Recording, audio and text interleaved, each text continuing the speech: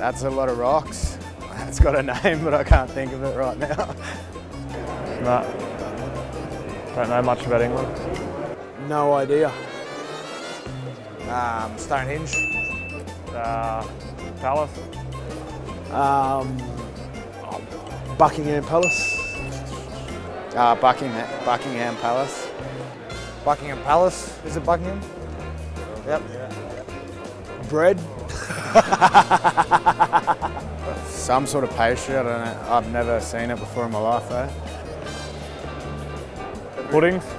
Yeah, got one. Where, where they from? Yorkshire. Yeah. Yorkshire pudding. Monopoly Man. No idea. No.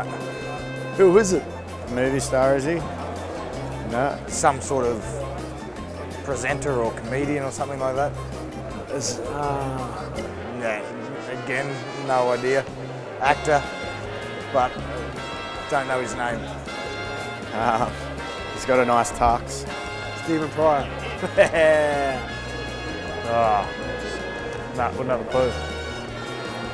Wembley. Uh, no, not Wembley. I played there. Man United Stadium. Old Trafford.